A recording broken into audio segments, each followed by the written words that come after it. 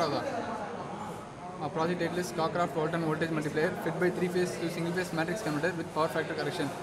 in which the 3-phase uh, AC supply is given as input and uh, it has been converted into single-phase uh, and it has been converted into single-phase AC and this single-phase AC is being converted into pulsating DC and this DC is being converted into uh, pure DC by using capacitors. So this is the MOSFET switch uh, and uh, the MOSFET is uh, used to drive the circuit in which the, this is the drive circuit and this is named as uh, PIC microcontroller. Separate supply is given for transformer for converting the three phase AC supply into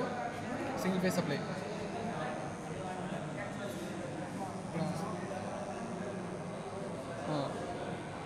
Given input has been recorded in this in, at this point and the output of the Cockcroft Walton voltage multiplier is taken at this point. This is the Cockcroft Walton voltage multiplier in which uh, in which the voltage has been multiplied into three times for the given input.